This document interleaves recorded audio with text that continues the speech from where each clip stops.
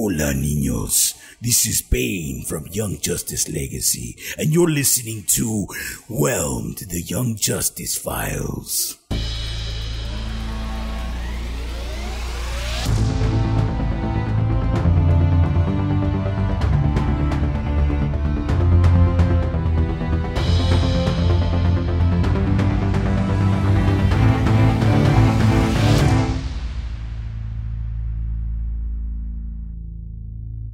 Recognized Uncle Walker D01.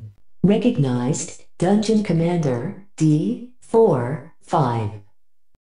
Hello, team. Today in the Watchtower, we are joined by DC, aka the Dungeon Commander. DC is the creator of the brilliant role playing game Mutants in the Night and is a must hear voice in the gaming community. You can also find DC as the host of their own Twitch stream and on the Star Trek Adventures on Roll20, with even more projects coming soon that apparently we're not allowed to talk about uh, that I just heard rumors of. Stay tuned for that. Mutants in the Night is a near future superhero RPG where mutants are shunned to heavily fortified safe zones to placate humanity's fear of the unknown. Mutants in the Night is a game that explores what it means to fight back against a system that's rigged against you. To quote the website, the law stands against them, enforcers stand above them, and opportunity stands before them. DC, we are honored to welcome you to Whelmed. Hi, I'm really happy to be here. Before we begin, I want to remind everyone that our discussion episodes draw on anything and everything related to Young Justice, up to and including episode 13 of season 3, the comics and the video game. If you've not seen, read, or played all the material and are spoiler wary, consider this your warning. And with all that out of the way, let's dive in. So, DC, I touched on a few things in the intro, but could you tell us a little bit more about kind of who you are and what you do in the world? Yeah, um, I'm a tabletop RPG designer. I'm a part time streamer. I'm also a community manager. All of this came from uh, the last year and three or four months ago, where I jumped back into making my own content, which hasn't been a thing for a long time. And immediately I just had a feeling of what I wanted to create and the kind of experiences that I wanted to have within a community. And by getting to know other people and having a lot in common with uh, their goals and meeting the great, really inspiring like mentors and older publishers and designers in the community really helped change my idea of I'm going to make this small little thing into I can go as far as I can with this, and let's see how far that is. Along that way, I made a Discord community, has over 400 members now, really great people. We try and make it so that it's inclusive, but also really safe for different marginalized groups, and we stick strongly to that. I've met some amazing people from that and on Twitter, and have just been popping off ever since. There's been a lot of great design stuff going on, and uh, I've come out with another game recently. And so I, I want to dig into this a little bit more. Like, what is your origin story with gaming? You said you came back into it. It sounded like you were implying that you came back into gaming and back into design. Were you designing before, or were you like were you like most of us and pretty much anytime you're sitting at an RPG table, you're designing because you want to house rule stuff left and right, or was this something you were professionally doing and came back? Tell us a little bit more about that. Um, I wasn't designing on a professional level. I had always be, been interested in narrative design as a kid. I didn't know that's what it was called. And what happened with me was what happens with most people is I was playing tabletop role playing games and I was homebrewing stuff. But uh, I played a lot of D and D growing up, and one thing about me that I don't know that people know is that I've never played a D&D adventure in my life. I didn't really know they were a thing okay. because You the, mean like a like a module? You mean yeah, like a pre a, like a pre like a pre-written game? Oh, I see what you're saying. Yeah, not one. Um because the the family that I played with, they created their own stories and so that's just how I thought it was done. And I didn't know until a few years in that those even existed, but I didn't even think that they were like a core aspect of the game. I was like, oh, cool, old documents. And anyways, and so um, the first time that I GM'd, it was with a world that I created, and I had also hacked the game and homebrewed some stuff into it with like on top of your classes, you had like a job class as well. Like you could be a mechanic and a pilot and all this other kind of stuff. I love it. And I did not know the actual rules very well, but it didn't seem to matter as my, my players had a great time. And ever since then, there was a period of time where I wasn't playing because uh, I played 3.0 and 3.5. Right. And then I just wasn't playing when 4.0 came out. And when 5.0 was being spoken about, uh, it caught my interest, and eventually some of my friends were playing, and they they brought me back into it. There were small campaigns and talks along the way, but uh, what really even got me into thinking about design was a friend of mine who designs multiple hacks and games, card games, RPGs. He's uh, an absolutely brilliant person that I've been trying to kind of rope into the community, um, but he's very busy in his own life. So when I had an opportunity after talking to him and like kind of getting an idea of how it's done and seeing that I I lined up with like the way that he understands game design, I gave it my own shot and just took off. So, uh, Mutants in the Night is not a fifth edition or D20 hack. Yeah. So, uh, okay, I gotta. So, what did you do to start with? Like, did well, this is is this your first project period, or just like your first major project? It's my first major project. Project. There was, I think, two or three months before Mutants. I made a D and D five E class, and I made four D and D five E races, and a friend of mine who was helping out made one, and we did those because I was playing in a D and D campaign at the time. I Yeah. wanted to start taking some of the issues that D and D has with representation of marginalized people and and change it, and Yeah. that's what the core of like that supplement was. And the class was just I want to do something wild, and so I made a like a potion crafting class, and um, you had a a blow dart gun to shoot potions into people, Yep. and a whole wild list of things that you could create and how to how to get parts for the different potions that you have. It was I, I might return to it one day. It was a really cool idea. That sounds fantastic. And actually, there's some parallels there because I designed a the Alchemist for fifth edition uh, is one of my best known supplements as well. And uh, I I discuss about reskinning things like the delivery. Like, it, yes, this is technically a spell, right, from the book. We call them formulas, but like the po- the poisoner tends to deliver deliver these quote unquote spells however they can, whether it's powder blown in somebody's face or a blow dart gun. And, and we, I, I talk about make this your own, you know, reskin this just because it's, you know, just because it says that it's a spell that requires, you know, finger waggling and arcane magic. Don't, it doesn't matter if the, if the game mechanics are the same, own it, make it personal for your character, describe it in those ways. It sounds like I'd be fascinated by this potion class. So, I want I want to see it. It, it. You said this was a supplement. Now you put this together. Was this something you had up on like DriveThruRPG, or was this just a project you were working at at home? It's on DM's Guild. Um, Oh, is it? Okay. The, the, it's the shaman class. And Wait, what? It's a shaman class? Yeah, there's actually some divination stuff as well. Uh, we gotta we gotta talk, man. like that that that's my jam. Like I didn't know any of this stuff about you. Actually, I've been working on a shaman class in my head for a very long time because I I am actually a practicing shamanistic. That's my spirituality, and so bringing that bringing that into um, gaming is important to me as appropriate representation as well. Uh, we need to talk about other things. So, but uh, we're going to talk about all that another time, I think. But we definitely, I would definitely send us a link to the DMs Guild, and we'll put that in the show notes as well. Cool. So, so that was your first step, D and D fifth edition. It's an easy way for people to get into it. Particularly early on, there wasn't a lot of supplemental material, so it was it was a, actually a very helpful vacuum for a lot of designers, including myself, to be able to jump in and and have a fairly popular role playing game. You know, ride that ride that wave and get your kind of feet wet in pro development. But how did that get to Mutants in the Night? Because Mutants in the Night has, when I think of reading and I think of game design, particularly with game design, the key thing that's the most important thing I think about game design is understanding what feeling am I trying to invoke or evoke in my players? What what where what store where am I trying to take them?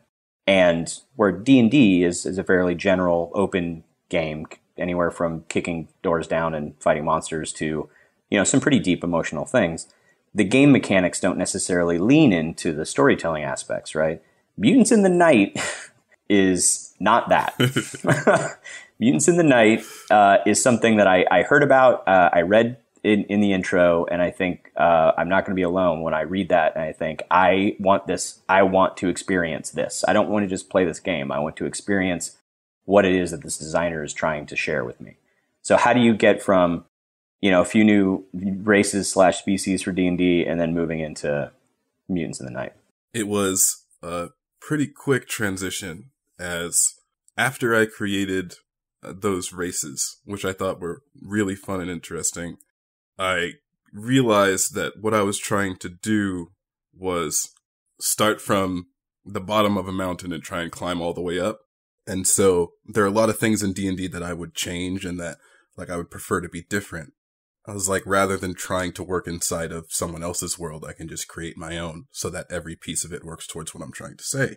So for a while I was just very lost and I was very much on Twitter and speaking to people, and just by chance ran into Avery Alder.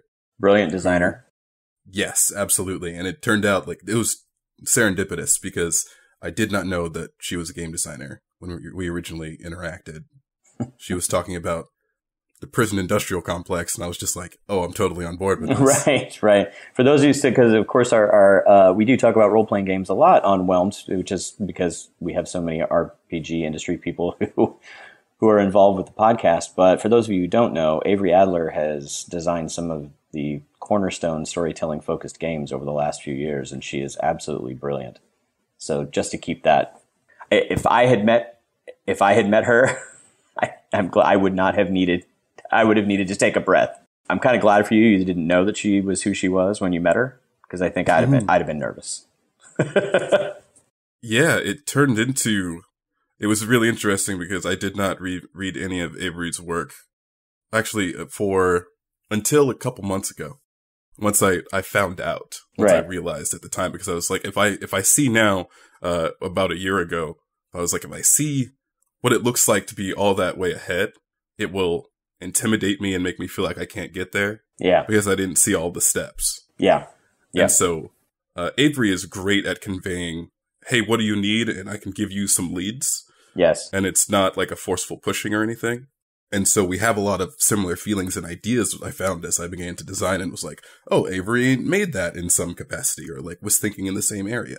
Right, so, right. Uh, she became an absolutely fantastic mentor for me and led me to Powered by the Apocalypse games and once I saw, I, I listened to a couple of podcasts, like Daniel Kwan's podcast, to help me understand that uh, how to work with the concepts of dealing with marginalized representation and colonialism. Mm-hmm. And then Daniel Kwan's podcast is Asians Represent on the One Shot yes. Podcast Network is also brilliant. Daniel Kwan and I just happen to be huge fans of one another. And when we met, it was just, oh, we're best friends, I guess. yeah. Right well deserved on both fronts. Um, we'll put links to that in the show notes as well. So, so you kind of stepped into a room full of incredible designers and supportive individuals right off the bat. So very quickly, well done. It was a lot of luck, and uh, mm. when I found, well, I was recommended to Blades in the Dark. I saw what the system did. This is this is the actual. This is like the the talent thing uh, that comes into it because all the rest of it is just hard work and luck as all the industry stuff. Yeah, so I'm, I'm gonna I have to say it. Uh, luck is uh, preparedness meets opportunity, and you were prepared, and you got the opportunity, and you you didn't let that opportunity pass, and you you did you did the work. So. Um, Blades in the Dark, for those who don't know, is also another role playing game that is is excellent. That has some mechanics that uh, are fantastic for it and what it does, but also I often see now hacked into other other role playing games because of its innovative nature. Mm-hmm. And so you ran into Blades in the Dark and continue from there. And I decided this is the game that I want to hack because I was like, I don't know anything about systems except for D and I know that, right? But I'm stepping into this new field, so I'm not going to tackle that. This system does something very specific, and that is capture the process of a human going through stress and trauma. Yes. And that is the core of struggle, like the human experience and struggle. And so it's like, that's, that's what I need. I wrote up a, I called it a narrative design hack where I was like, this is a new setting Right. you can play it in. And I was like, I'm done. And You were wrong. I was so wrong. I put it out there and people were like, this is really cool, but what about this and what about that and etc. yeah. And so I was like, wait, I want, I want people to have powers because I come from big surprise, the uh, superhero background. Right. Um, I was raised mostly on Marvel. And then as I got older, I started to get more into DC as the way that I see it is I always say that DC has better characters and Marvel has better like arcs, like stories. Right. Right. That's changed kind of over the years, but Right. etc. That's how I felt about it growing up. And so I have always been into those stories and what the characters are really about. And you, you take these characters that are that are massively powerful and it's like, oh well, they can face the entire world. Mhm. And then you look into their lives and it's like, wow, they are just dealing with it. Like Yeah. it's nothing has changed between being a human and being a yes. a superpowered alien, it's the same thing, you know? You still have the same struggles. This is uh and this is this is why I wanted to have you on the show and when we were talking about the exact topic we are going to talk about this feeds in exactly into that. Um, but before we get into that, I do want to find out when did you first see Young Justice? Did you see it in its original run? Did you watch it on Netflix, digitally? What's your story there? I watched it on Netflix. My friend who is like, I don't, I don't know if this is a common experience, but I have like a friend who's like trusted in the recommendation of comics. Oh yeah, I know, I get it. Yeah, Everyone's like, oh, read this and read that. And I'm like, no, I don't trust you. Uh, like, I love you, but I don't trust you. right, right, Uh, right. There's that one friend who's like, yo, you need to read this. And I'm like, yes, you're the one. Yeah. Never let me wrong. right, Like, right. and so. I want I want that person's name, by the way. I just Oh yeah, I'll- he's he's a saint. He is he is a comic book savior. Um, he was like, "Yo, Young Justice though, like everyone's talking about it, but trust me, the hype like, the hype the hype is real. yeah, there has to be that person who can verify it for you. Right. It's like exactly. yeah. the comic book notary. notary. I went and I watched. I'm pretty sure I binged the first season like immediately. Yeah. it's an amazing show, and I was like, "Whoa!" the it's because it uh, like like the topic of this particular episode. It's so character driven, Yeah. and it goes so much through the experience of here are these individuals. How are they going to to work together? Not so much on the field first. It's like how are we going to start to understand each other so we can get to a point to where we can work with each other? Yes. Absolutely. all the intersections of their identities and their backgrounds, continuous struggles, having to hide things, show things, whether or not that's the right time for that kind of stuff. right. I was right. like, this is boss. Well, this is and this is this is what you had you had said to me when we were having this discussion. You said it's it's more about the group figuring themselves out as individuals and as a team than it is about what or who they're facing off of, against from episode to episode. And I found this to be an interesting parallel to what you were just saying earlier. You're like, okay, so I got Blades in the Dark. This game is about people facing facing stresses and, and trauma, and I want to build off that. And then also, I want to have superpowers right? Yeah. So the foundation of Mutants in the Night is about the characters, who they are, what they're doing. It's not. Uh, I mean, hey, I, I I grew up playing Champions. I like super crunchy, all about the powers. there's no Yeah. there's no narrative narrative mechanics to Champions. Love that system, but it's about the powers first, and then the story is whatever you want it to be, or whatever you can have it be. And here, Mutants in the Night is the other way around, just like the parallel to what you're describing Young Justice is for you, right? yeah.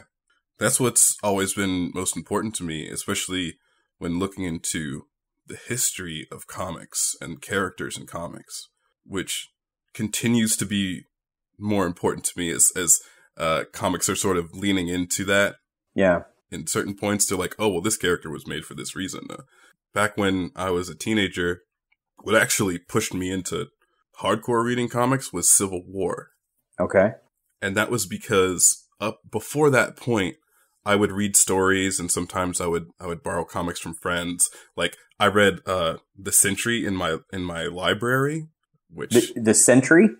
yeah i think it was like the 2001 Okay. century run that it's it's beautiful It's such a beautiful Uh, story. Sen- Sentry is not a well-known Marvel character who is basically their equivalent of Superman, but has a really complicated relationship with reality and powers and the Marvel Mm-hmm. universe in and of itself. Uh, if you're not familiar with the Century, you should check that out. But I hand that back to you. Keep going.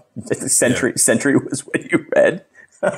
yeah and Wow. read the 2001 one all the the newer updated stuff is here and there Wow. but okay. that whole story is Yeah, it's intense. yeah i'm superman basically hmm but also here's what's going on inside Yes. and how I have affected the people of this world and their lives. And I went, hot diggity. Yeah. uh, Absolutely. so my friend introduced me to Civil War, and then I saw these ideals clashing against each other on the overlay of these characters. Yeah. And I went, comic books are doing this right now? Yes, they are. Yeah. And then it just, it ran off, you know? Yeah. And so seeing all of that, I'm not surprised that in, in Mutants in the Night, the whole core is that like, uh, your powers have like two purposes. One purpose is to, because you are like a heavily marginalized person, you live in like a slum, um, Right. to have some kind of control. Uh, you have something that is reliable to you, that always works. When you use a power, whatever it says on the paper is like what it does. Yeah. And on the other side is you have this higher level of complication to everything that you do. Because once you have the ability to change things or to act in certain situations, those things weigh on you. The decisions you make are more important. Like it's, it's putting you into that realm of the superhero where it's like, okay, you saved a bunch of people, but you couldn't save everyone. Or, Right. uh, maybe you made things worse at one point in time, or is killing right, is killing wrong, like all these sort of things that we can like ask ourselves through that particular lens. And that's the definite intersection that made like my game a thing. Yeah. So I can't wait. I still haven't played it yet. I can't wait. Um, and also, for those of you who remember Quinn Wilson, who is uh, one of our most popular discussion guests, uh, his podcast, Swallows of the South, their new uh, run is apparently going to be Mutants in the Night. So uh, make sure to support Quinn and, and check that out as well. So let's talk. Let's talk about Young Justice a little bit. So we're talking about character-driven drama and intrigue that also happens to have superpowers. So Yeah. what what arcs, either character arcs or overall story arcs, jumped out at you that made you realize like, oh, this is something different. Like this is something else. What what is it that grabbed you? There are a couple of characters that immediately stood out to me. I have mixed feelings about Batman, but I'm a huge Robin fan. Ah, I love all the Robins. good choice. Immediately, as soon as they showed up, I have my Nightwing hoodie on I today. was- yeah, I saw, I saw earlier. And correct me if I'm wrong, but the first Robin is Dick Grayson because he later turns into, Correct. um, because then Tim Drake is in the next season. Correct. It was uh, it was Dick, then Jason, then Tim, uh, then Stephanie Brown, and then Damian. So one, I've always been a, a okay, I'm a Tim Drake fan too, but uh, I love Tim too. I'm too. a big fan of Dick Grayson. yeah. Dick Grayson's whole storyline on his own, even just in in the Batman series, is that weight of like kind of being the the more realistic character, almost fourth wall breaking in a strange way, where everything that goes on with Dick Grayson is like, wait, but I live a real life. Right. Like, I'm not this thing that's like, oh, the daytime just happens and then I'm nighttime. like, I go Batman.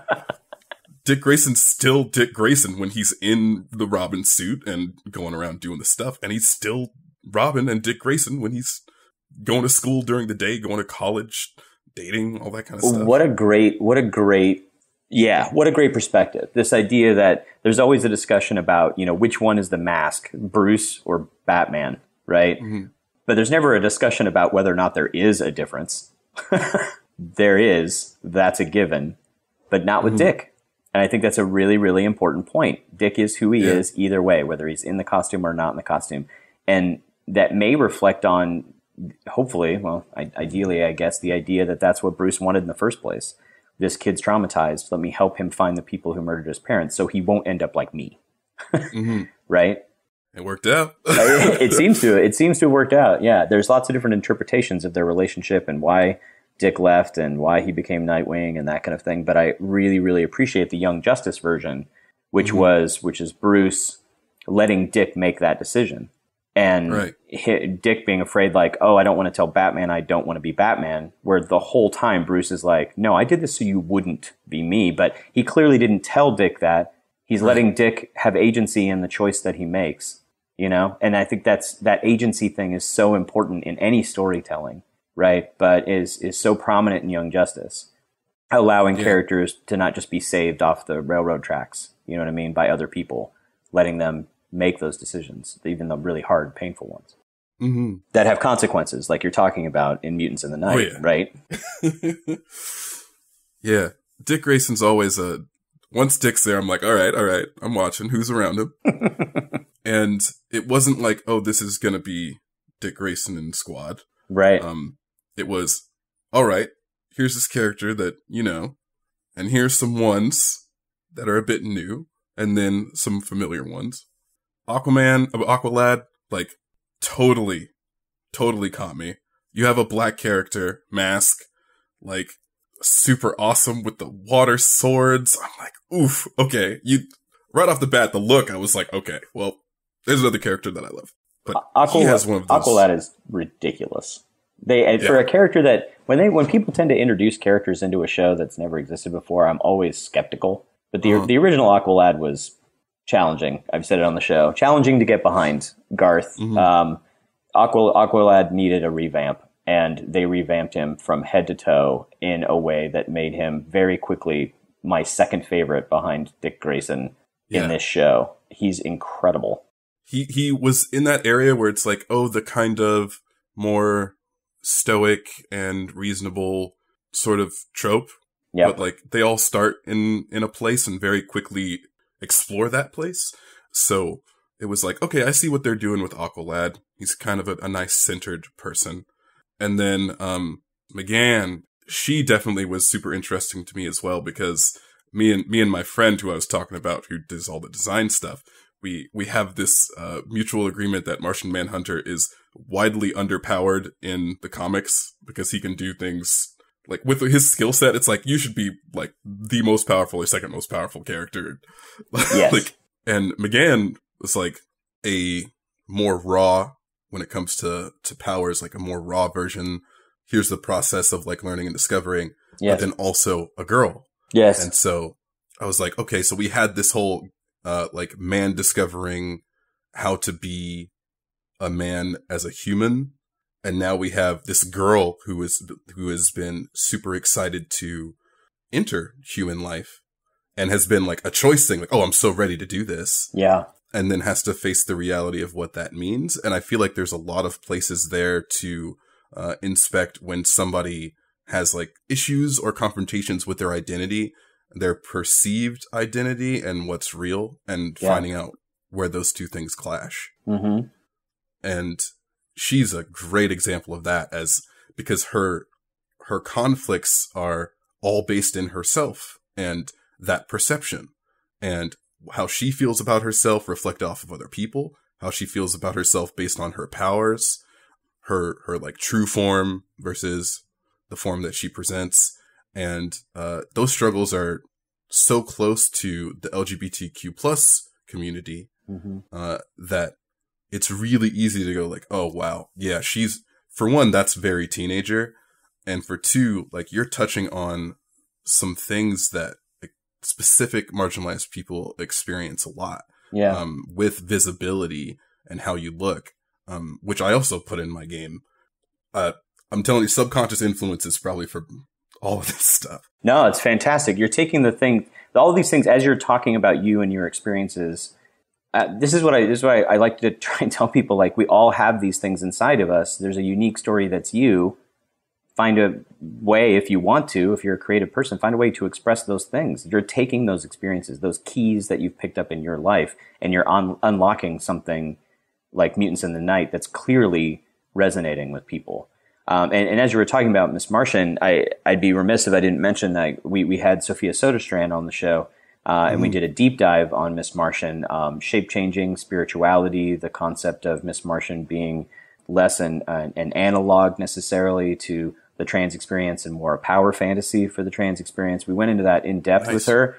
Uh, it, it, was it was fantastic, and so it and of course, Quinn talking about the ideas of identity versus personality and the evolution of those things in the hand of Miss Martian. Miss Martian is such a brilliant character to discuss, so deep as a character. She's real good. yeah, but but what's what's crazy to me is this idea that she's not the only one.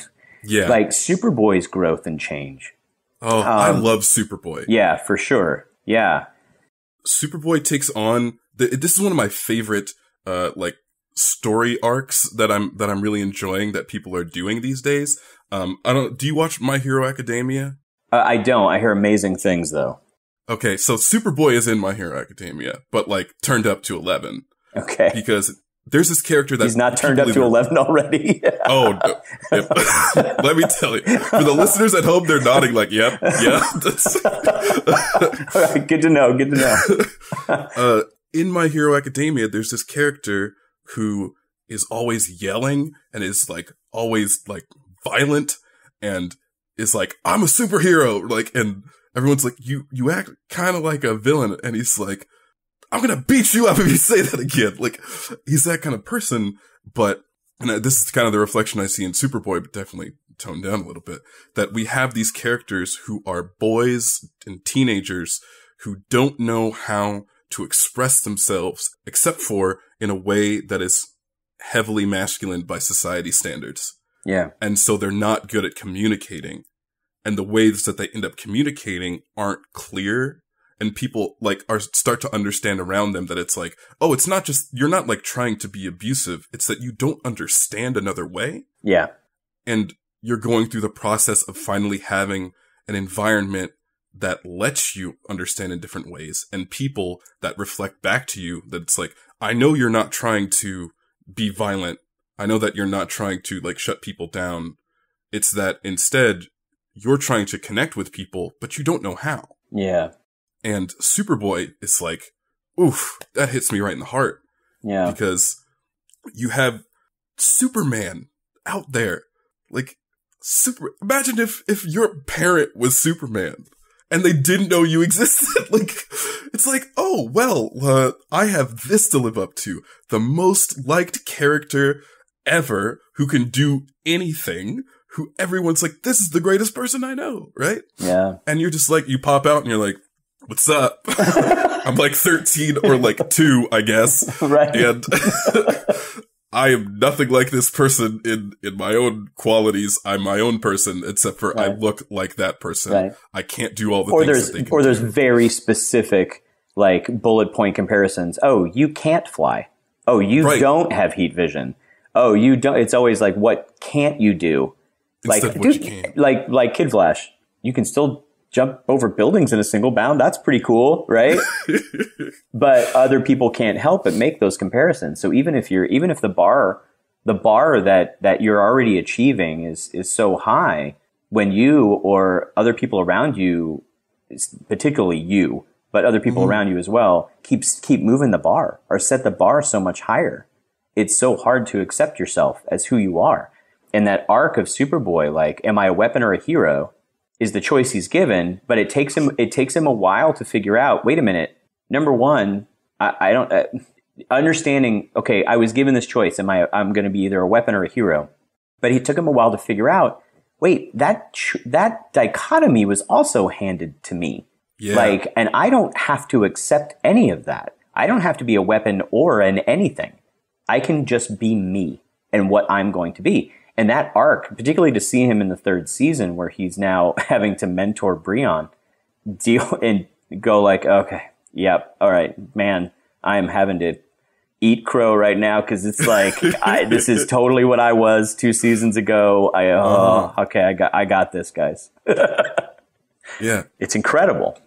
It's great because I think those that those are the kinds of stories that young men need right now. I agree. Is to say, here's the way that that society taught me how to be. Here's what like a quote unquote perfect man looks like. And then people either expect me to completely reject that and be like, oh, well, I don't care and yada yada. And like, there, it's easy to manipulate that kind of person that hasn't investigated themselves. And then there are people who try and be perfect and are going to fall short because it doesn't exist. yeah. And then there's that other point where, just like you said, and the show is continuously bringing up these great things. You can be whatever you want to be. You can be yourself. And the people around you who really care about you are going to support that. Yeah. You don't have to worry, like, if you have those people around you. You can even go on to the world, find other people who, like, Right. love you for who you are. I think that's why the, uh, or the sphere, Right. Oh, Sphere. Um, yeah. Mhm. yeah, like, they hit it off because it's like, what? There's no judgment here. We're just, we're me and you. it's, it's such a simple relationship. Right. This is a thing that uh, uh, Emily pointed out. This idea in the third season where Superboy is fixing motorcycles for a living, hmm and she's just like, she's like, this is just the perfect Superboy adopting and helping broken things. And I'm just, I just started tearing up. I'm just like, just Yeah. that simple idea of him. I'm just expressing who I am through these things. You know what I mean? You could look at that and go good. like, you could look at it and go like, oh, that's very macho of him fixing Right. motorcycles or whatever. But you know him. You know more about his journey and what that is, right? Exactly. and the healthy that they you know super superboy and miss martian obviously go through um, serious problems with um, abuse and manipulation in the second season and then that evolution you know moves forward and when we see them in the third season addressing those issues and and expressing like you're saying like like seeing these male figures um, like dick grayson right a very Yeah. non-toxically masculine character. He's always been that way. And seeing Superboy doing these same things and finding better ways to express himself while allowing himself to fully be himself as well. And then seeing Martian or Miss Martian and Superboy discussing the challenge, the everyday challenges of a relationship, not just the let's just show the dramatic romantic high and low points and somebody's going to cheat on somebody and what. No, let's talk about how Miss Martian's like, I get that this is important, but we had an agreement about home was home and the watchtowers for missions. And he Yeah. and Superboy saying, You are one hundred percent right. Let's work this out. And I'm like, thank that's what I want my kids to see. Thank, thank you. Thank you for showing something. Do they have problems? Is, is there drama? Yes. Can we also show healthy discussions of relationships without people making all these, like pulling the first cliche out of the, out of the cliche trunk of like, oh, we're going to be jealous and not talk and hide secrets. And yeah, Mm-hmm. Because a lot of the time when comics and these shows, they have the long-term relationship couple that just last, they never show how that works right. and how that is achieved. right. And this show is like, let's start from the beginning and move it all the way over. Right. So that when you start from the beginning, you can see Yeah. and kind of reflect off of, this is how this works. This is how you sustain a relationship. it's pretty unusual for me to run into somebody that I know that's been together for a decade or more where they're like, nope, it's been great the whole time. There's usually been Yeah. like, well, about year six, we were going to kill each other. Right. Yeah. And it was terrible. And then, but we worked through it and we wanted to work through it and we chose to work through it and we did. And now we're, now we figured stuff out better about ourselves. And that's the way long term relationships tend to work. It's not like, you know, the happily ever after without the explanation of what happens next. So Yeah. that that underlying thing, and we haven't brought up a single power in any of these conversations, right? And ostensibly, this is a show about DC comic superheroes doing stuff, right? Mm-hmm. So yeah, I mean, uh, we, I mean, I, I, we can even talk about the idea of character expression through combat because you see these fight scenes and you see characters evolve and change, their fight styles being differently, but how they work together as a team differently, particularly in the early of season one as well, and representing representing how they change and how they understand each other. Watching Superboy get so angry at Black Canary, trying to train him, and then seeing Oh, him yeah. at the beginning of season three, where he steps into a fight with a guy who's at, least as strong as he is and drops mm-hmm. him in a heartbeat because you see him go into a fighting stance and hit him in like the kidney and the throat and under the armpit and then down he goes and you're just like, oh yes, Black Canary all over. all, all the way. I'm like, you get Superman, Superboy's strength and, with Black Canary's combat style. Bye bye, buddy. You're out of here, right? but seeing that, that is an expression of character as well as an expression of something like action, superhero oriented that I think is so key and important. And again, this is an ensemble cast. So it's not just a single character that they're doing this with.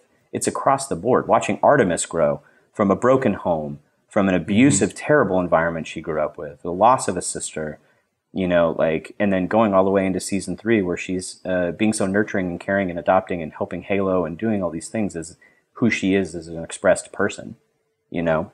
yeah, they they really went into let's take all of these these different places of life that we come from, mash them all together because that's what happens when you're a teenager. You're thrown into a room with a bunch of people who are completely different than you, are very much like you, and you have no idea, Yeah. and make it work.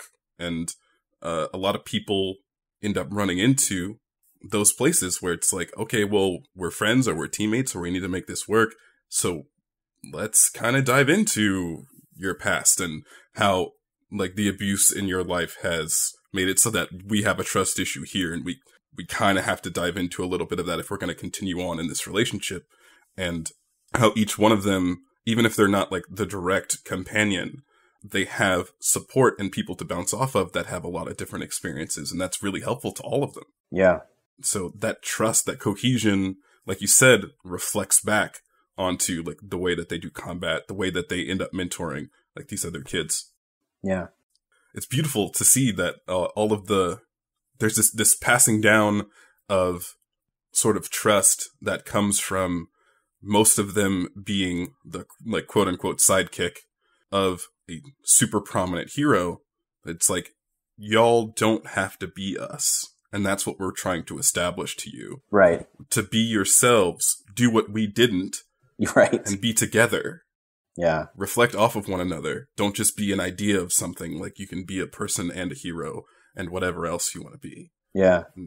It's real powerful stuff. It, it I, I agree with you. Um, and I think the watchers clearly agree with, with you as well, as well as third season's doing. I want to, uh, be- before we wrap too much up, I want to, I want to bring it, this back a little bit to um, Mutants in the Night and how all of this, this clear passion that you have for this kind of storytelling and this kind of character driven drama and this kind of importance for people's personal experiences um, being represented, how this kind of reflects itself in this this game that you want people to sit down around a table and tell a cooperative story, sharing these experiences with.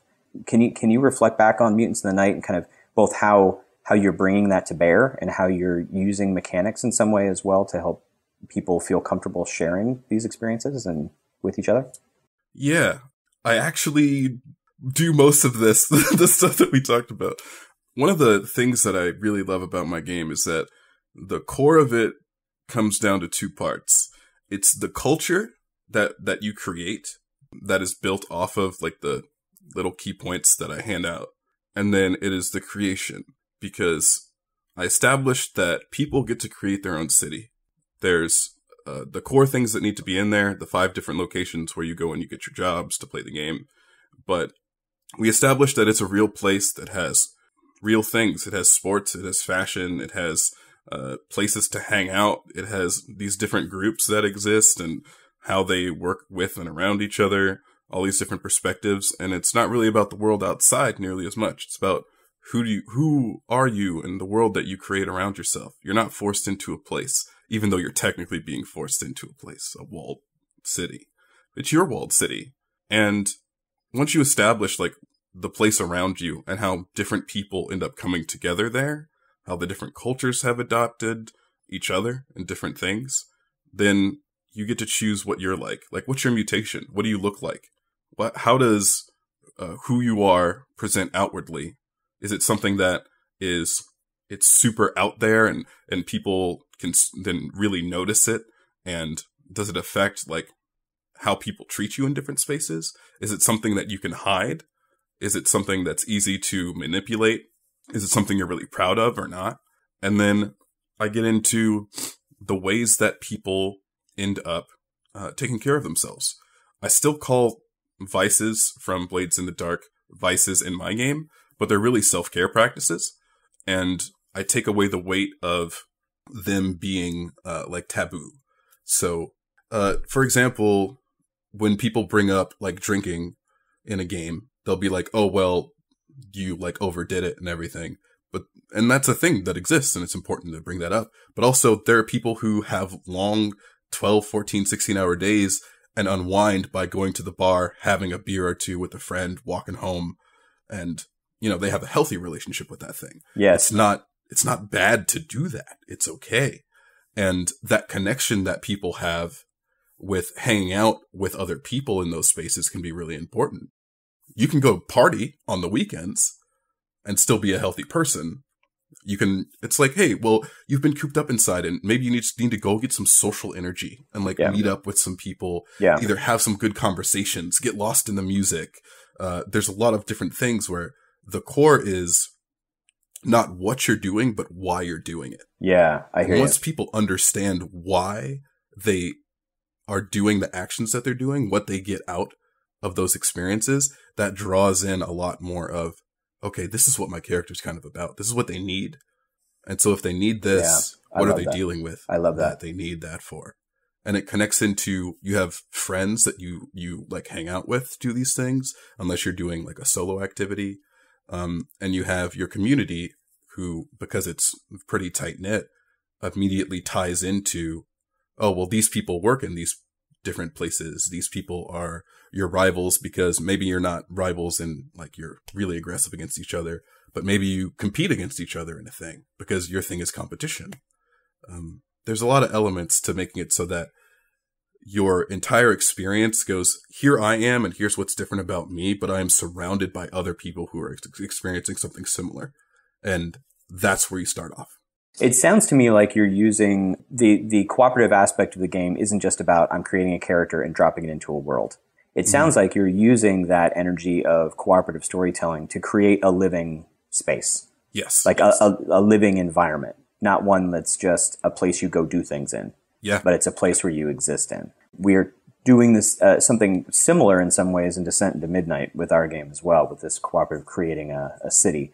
With with us, it's a it's an already an alien environment because we have you on another world in an ocean underwater and you're playing non-human alien fish creatures, right? So like we we're kind of mm-hmm. like we'll let people decide how much they know or don't know and what they want to share about the underwater world.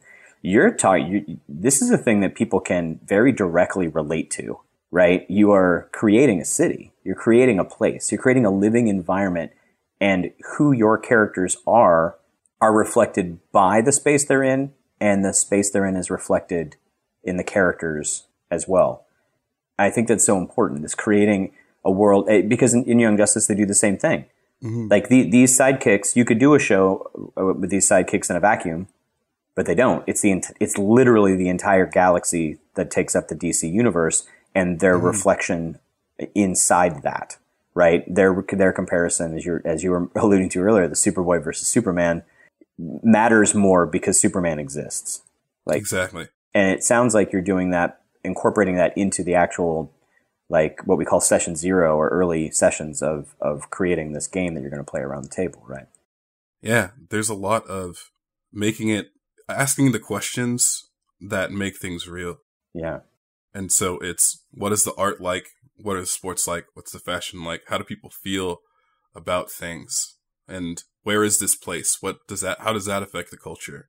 Because before you even get into yourself, like you build in how everything around you, I really just move the scope down and I go, here's some things and answer these questions. Now you're here.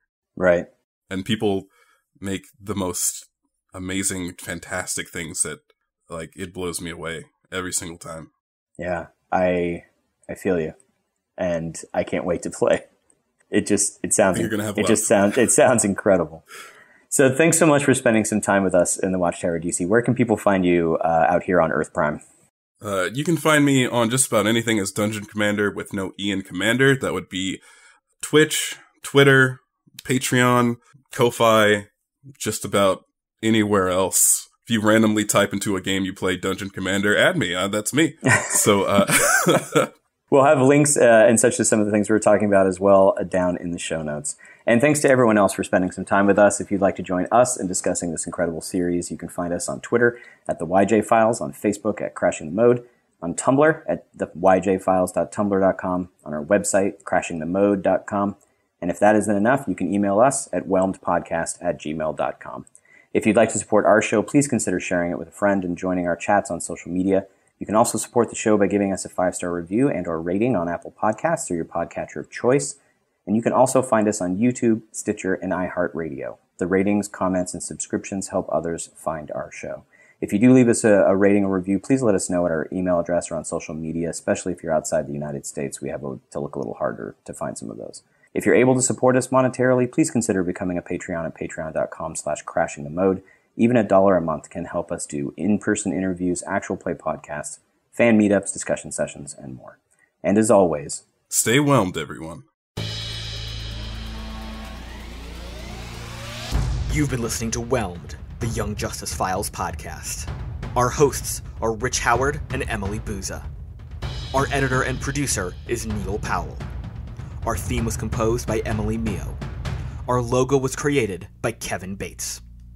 Whelmed is a fan made podcast and is not officially affiliated with DC Comics, DC Entertainment, Warner Brothers Animation, and any other owners of Young Justice or its related source material. As such, these companies have sole ownership of all symbols, images, names, logos, and proprietary material related to Young Justice. Original content of this podcast is ours under Creative Commons. Thanks for listening and stay whelmed.